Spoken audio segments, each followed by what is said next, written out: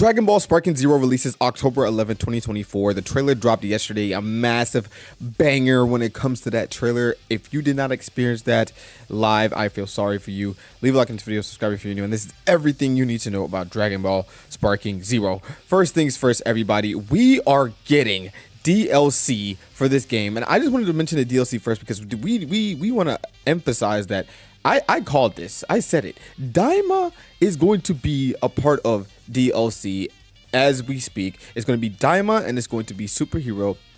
A part of the DLC It's going to be 20 plus playable characters. And this is going to be included in the deluxe edition, which is our second point here. It's featured in, with the deluxe edition, which comes with three days early access, as well as the pre order bonus, which is the early unlock of uh, all, I think, Gogeta uh, and Broly, but all their forms. And we have one extra character, which I'll get into later.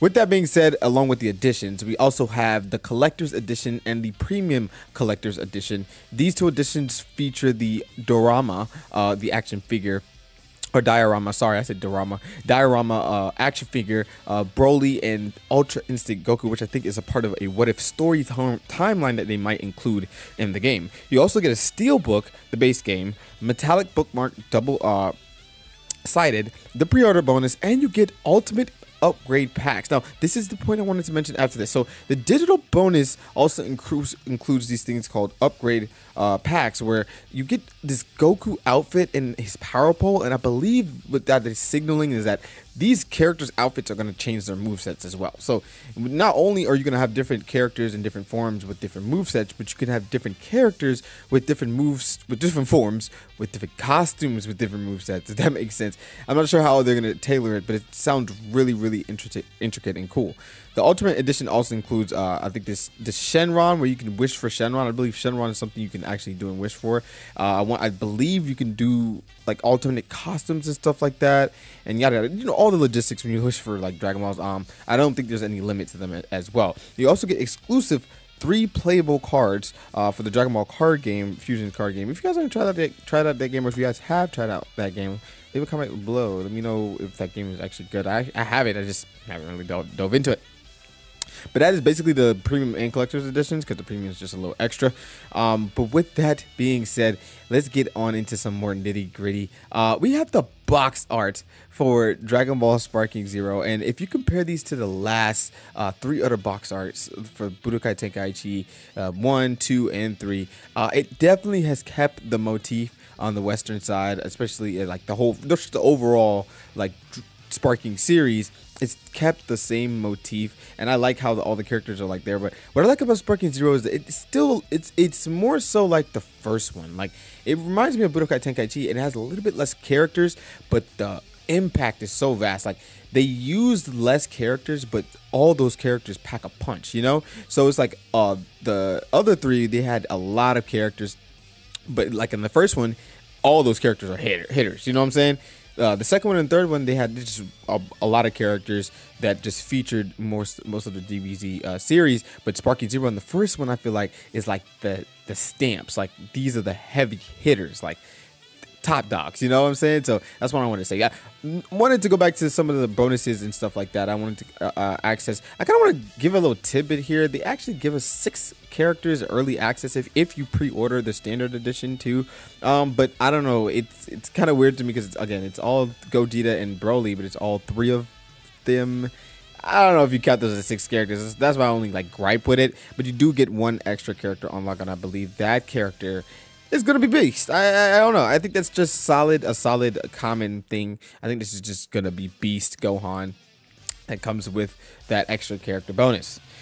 Now that we've gotten all that out of the way, the cover art and everything, let's get on into the actual logistics of the game and what we're going to be expecting from what was told to us from that story trailer.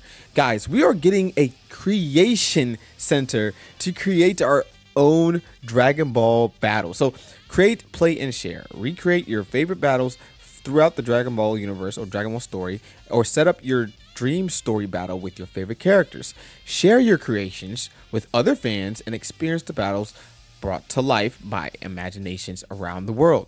guys, this is innovative for the Dragon Ball series. We all know we don't really, everybody's not keen or hyped up on Cax, and everybody's not so fond of like the same old story.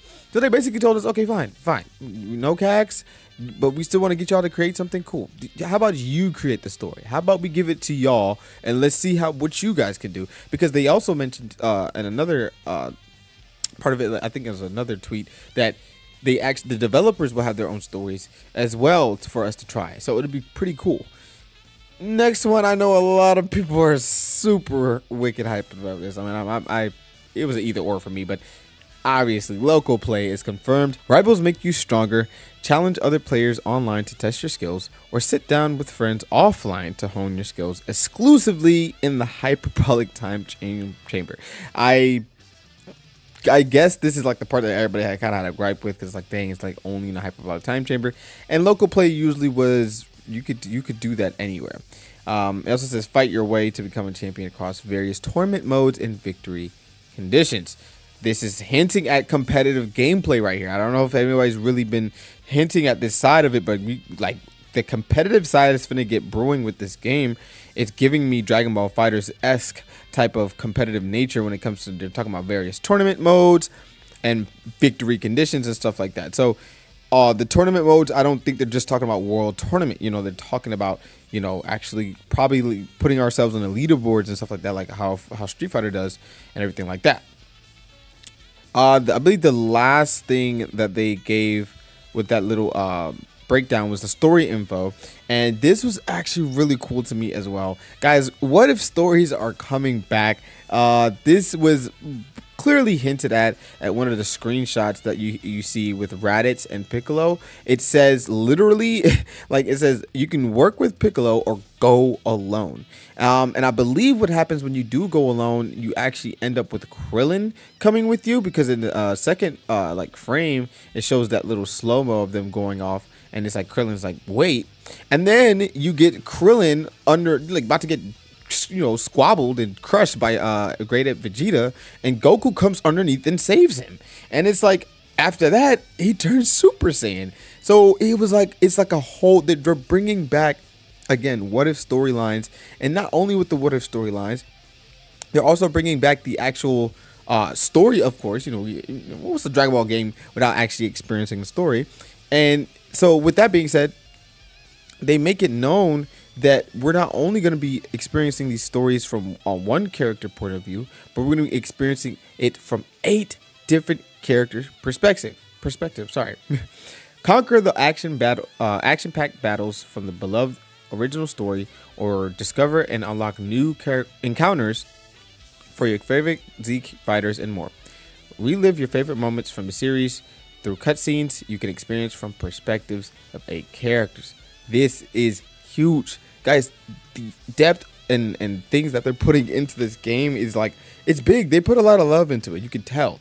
Um, you can tell that there's a lot of time, effort, well thought out, intentional input with this game, especially with the, all the additions that they threw out at it. Like we're over, they haven't dropped any of this stuff. You know, we're over here sit, sitting here thinking, dang, they don't even have this stuff ready. Man, they have deluxe collectors. They have DLC ready to drop soon. They have like you know what I'm saying? Like so I want to know a few questions. Like, first of all, what source edition are y'all getting? Like, I already bought my digital standard edition just to get it out the way, but I'm definitely gonna cop to the deluxe. I mean, I'm, I'm probably gonna spend another hundred on it, and then I'm probably gonna get other collectors as well. I don't know. It's it's it's Dragon Ball. It's, it's a historic moment. But let me know what edition you guys are getting, and let me know what is your favorite feature that you've seen out of that trailer that you are ready for. Uh, I'm excited about the character, the the world or story creation to like try out different stories from other people and stuff like try to beat different like I'm ready for that. That creation aspect, that one. That one really is like the one that should sink your teeth and like, um, yep, I should get it. I should get it. Uh, one other thing I wanted to like break down in this is just to kind of call like upon like the whole aspect of like the ultra instinct and the characters. Like they really dropped these characters like periodically and really took their time. And i feel like summer game fest was like it was a little short to me because they, they kind of had to keep it short. But at the same time they they packed so much in that we were able to like grasp and like break down everything and process everything. And it, and they gave us a release date. They like they gave us what we wanted. A release. That was literally all I care about. Like I don't care about nothing. I don't have to look at a V jump no more. You know what I'm saying? Like it, it it's done. Like we could we could just kind of if you if you haven't bought it yet, you know you save up. You know when it's gonna come out. October 11th. Save your money just if don't go too crazy if you can't get uh, the ultimate and stuff don't get it. Just get the standard edition you know what i'm saying? I'm already locked in so that's why i'm like i'm not worried. Even if i don't get the ultimate or anything like that i, I already i have the game. I'm not worried. So like just get it out the way if you want to. If you want to wait till the day of go ahead. If you want to go out of a physical edition go ahead. Do what you need to do. But we are here. It's here it, the hype is real. If you guys want to check out my reaction to it, I dropped the reaction video uh previous to one of my previous videos. Also dropped the full trailer and everything. But this was my breakdown, everything you need to know about Dragon Ball Sparking Zero, based on everything we've got so far, as far as like the trailer from yesterday and just the info that was given out as far as the details in the game. Leave a like on this video, subscribe if you're new, and get on some more Dragon Ball Sparking Zero content. Peace.